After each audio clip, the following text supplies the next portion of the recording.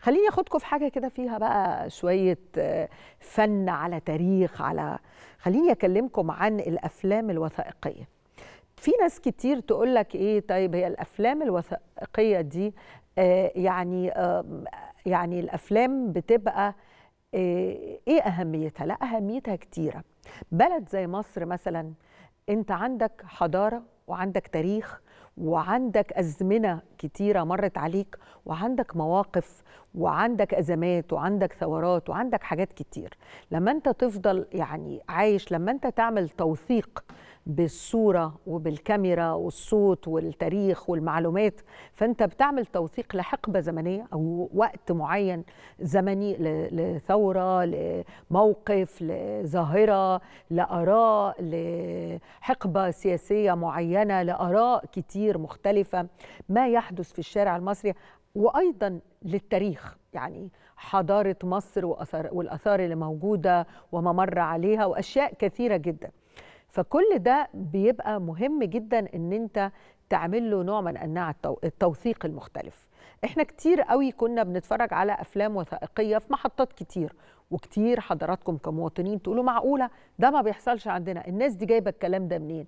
وإيه اللي بيحصل اشمعنى مصر؟ مصر يعني مادة جاذبة جدا بكل ما فيها من أشياء. خليني كده أخدكم وأقول لكم أنه أوريكم كده برومو برومو ده لقناة مهمة جدا هتنطلق بإذن الله يوم الأحد المقبل الوثائقية الجديدة. وبتستعد فيها الشركة المتحدة للخدمات الإعلامية لإطلاقها يوم الأحد 19 فبراير وده هيكون الساعة الثامنة. القناة الوثائقية دي اللي إحنا بنتكلم عليها هيكون فيها تدقيق النظر في كل الأوراق. والملفات والتحقيقات وأوراق التاريخ بالإضافة إلى عرض تسجيلات نادرة لم تخرج بعد إلى النور. وده هيكون كمان مش بس هتقتصر على ده لكن هيكون أنت عندك الفرصة إن أنت تتفرج يعني تشوف العالم بعينيك تشوف التاريخ تشوف الحقائق تشوف الآراء من غير ما تسافر. يعني أنت كل الشهادات هتجيلك من قلب الحدث من أماكن كثيرة جدا ومن على أصحاب ألسنة يعني ألسنة أصحابها. فأنت طول الوقت هتسمع الحكايات من من من الأماكن بتاعتها ومن أصحابها وهتتعرف على كل شيء. خلينا كده نتعرف على هذا المشروع وعن قرب من المخرج والأستاذ شريف سعيد رئيس القناة الوثائقية ويعرفنا على مزيد من التفاصيل. مساء الخير أستاذ شريف. مساء الخير. أنا مبسوط إن أنا معاكم على الهواء اولا مبروك مقدما ومبروك إن إحنا يعني هنشوف بقى أفلام وثائقية مصرية تحت مصرية دي كذا خط ونعرف منها التاريخ بدل ما بناخده من قنوات أخرى. آه مبدئيا آه الله يبارك فيكي آه مبروك علينا جميعا ونتمنى إن شاء الله إن هي تكون بإذن الله بإذن الله بنبذل قصارى جهدنا إن هي تبقى تجربة محترمة وبداية ترسيخ لوجود الإعلام المصري في هذا الحقل من خلال أول قناة وثائقية متخ... يعني أول قناة مصرية وثائقية. مصر عمرها ابدا ولا كوادرها الفنية كانوا بعاد عن هذا المجال. مصر راسخة في المجال ده من بدايات القرن العشرين صحيح بس ما كانش فيه قناة متخصصة في الصناعة الوثائقية كان الإنتاج بشكل عام بيبقى بشكل منفرد كان القنوات الأخرى في الإقليم اللي يعني اللي أسست قنوات وثائقية كان كل إنتاجها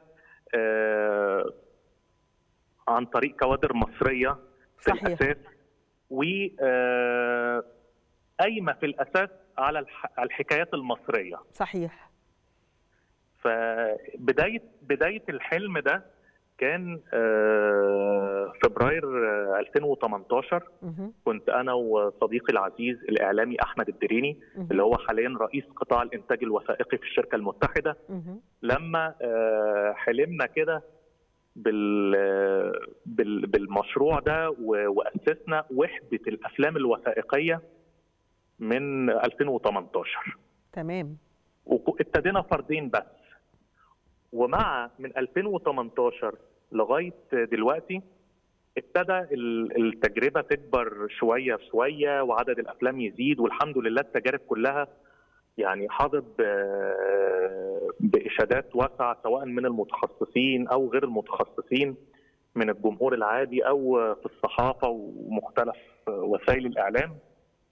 وتعدينا ال 50 فيلم وثائقي. تمام.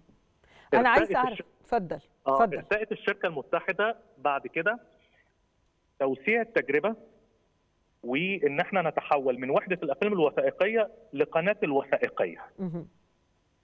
وده كده يعني باختصار ال- ال- اللي حصل على مدار ال- ال- الفترة اللي فاتت وكان همنا الأول من أول ما ابتدينا المشروع ده من 2018 إن ألا نترك ال- الرواية المصرية للآخرين. صحيح.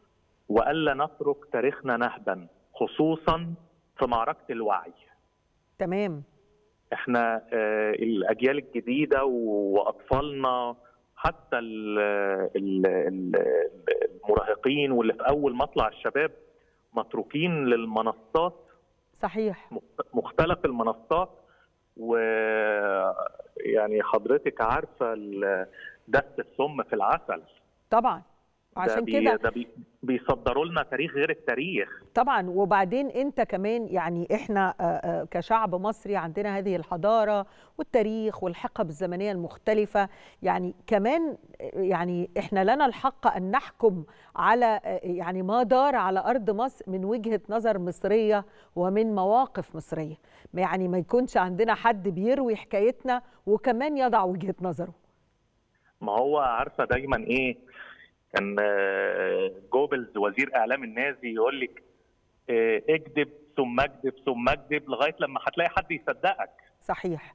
اللي هو من كتر ده- ده من كتر ما اتعود على الكذب طيب أنا بالظبط. أنا أنا أنا عايزة يعني أبسط دلوقتي المشاهد اللي بيتفرج دلوقتي على حضرتك وبيسمع رئيس القناة وهو بيتحدث. أنا دلوقتي مواطن مشاهد.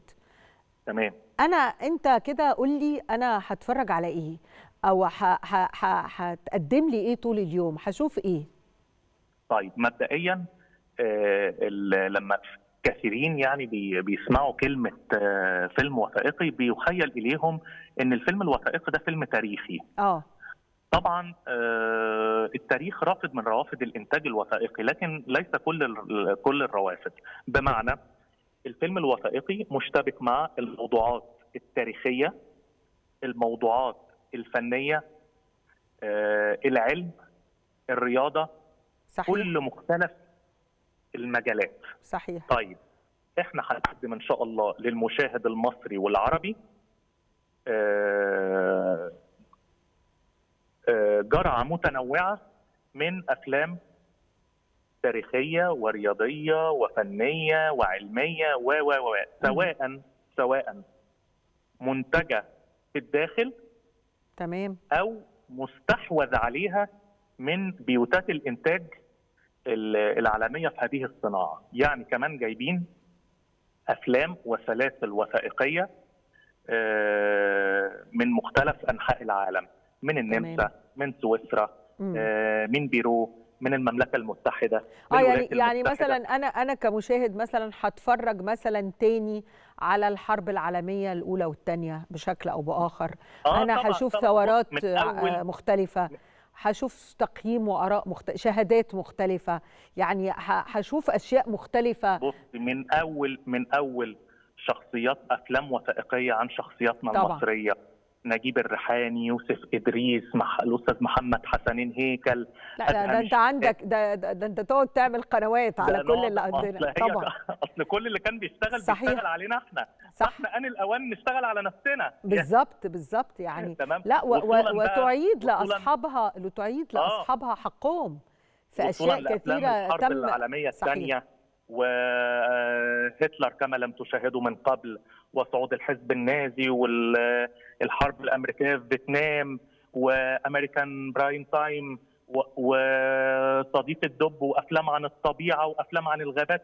طبعا. كل ما طيب تتخيليه. هناك أيضا نقطة لأن إحنا كمان أعتقد إحنا بشوف إن إحنا آه، أستاذ شريف إحنا جيل كمان أو أو مواطن دلوقتي يعني جيل بيرى الحقائق يعني يشهدها زي ما شاهدنا جميعا ثورة آه، 30 6 وشفنا ما. حدث وكمان بنشوف الأحداث بعد كده يعني مسلسل زي الاختيار أعتقد في نسخته الأخيرة في رمضان الماضي كان فيه شكل ما بين الدراما والتوثيق فأعتقد الحلقة الحلقة الأخيرة من الحلقة بالظبط 30 يعني الحلقة الأخيرة أعتقد إنها ممكن دي تبقى إنتاجنا. عندك دي. انتاجكم أكيد أيوه دي تبقى إنتاجنا موجودة وأنا كنت. مخرج الحلقة آه كمان آه طيب آه. يعني ده كمان هيخليني أقول إنه حضرتك تتحدث عن الجيل اللي موجود اللي بيتم برضو عرض أشياء كتيرة على فكرة مش بس في أفلام وثائقية في منصات بتعرض أفلام عادية أفلام روائية ولكن بتبث يعني في كده داخل الأفلام قصص وحاجات عن تاريخنا وعن حضارتنا من وجهة نظرهم. فهنا هيكون عندك رد آه آه عندك عين بتتابع كمان ما يحدث طبعاً. على الهوا من أشياء. جزء دايما من من شغل أي قناة هو مشاهدة القنوات الأخرى المماثلة. تمام. أو المنصات وبتعمل بتعمل لها تحليل مضمون. تمام. لازم تعرفي الآخرين بيقدموا إيه تمام. وعايزين يقولوا إيه. وانت عايزة تقولي إيه؟ وهم بيقولوا عنك إيه؟ وانت عايزة تقولي عنهم إيه؟ صحيح. لأن في النهاية الفيلم الوثائقي كقالب فني هو ذراع من أذرع القوى الناعمة. تمام. هل هيكون في أفلام بقى عن ما حدث من إرهاب سواء آه، في مصر أو في العالم العربي أو في العالم بشكل عام؟ تحليل آراء شهادات؟ مثلا إحنا النهارده أفصحنا عن قطعة من قطعنا اللي هتظهر في اليوم الأول وهو آه، الحوار مع أمير حدود داعش. ما تمام سمي بتنظيم الدولة. تمام. حوار آه، من ثلاث أجزاء آه، حوار أجريناه عبر صديقي أحمد الدريني. مع فهمي الأسود أو هيثم عبد الحميد أو رشيد المصري. كلها أسامي مختلفة لشخص واحد. بعد آه، وقوعه في قبضة السلطات المصرية تم تمام. إجراء هذا الحوار الحصري معاه. ده حوار مليء ده اللي هيبقى موجود في يوم افتتاح القناة هذا الحوار. الحصري. إن شاء الله يوم الحد الساعة 9 مساء. لحد الساعة 9 مساء هتكون الحقيقة بعيون مصرية. فأنا آه. يعني بشكرك واتمنى لك التوفيق وهنيجي نزورك برضو كده ون... ونشوف القناة ون... وننقلها للمشاهدين.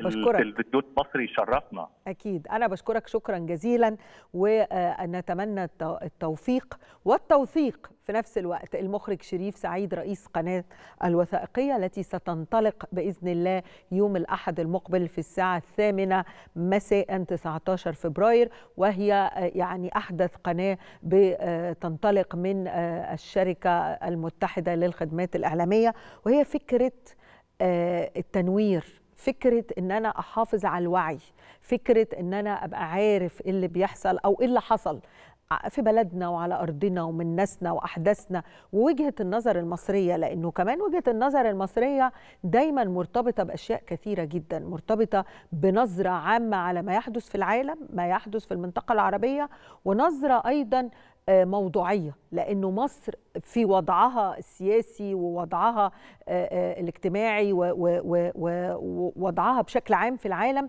تنظر إلى الأشياء بشكل وسطي جميل ما عندهاش مشاكل مع حد فبالتالي دايما هتلاقي وجهة نظرها صحيحة صادقة 100% أتمنى أن شاء الله تكون قناة آه، ممتعة وزي ما قال آه، رئيس القناة مش بس هيبقى فيها تاريخ وسياسة هيبقى فيها حاجات لطيفة وحاجات اجتماعية وتشوفوا بقى حاجات عن الأدباء بتوعنا وفنانينا ورموزنا وحاجات كده آه، لطيفة و- و- و- وتستمتعوا إن شاء الله وأنا متأكدة أنها هتكون قناة ممتعة.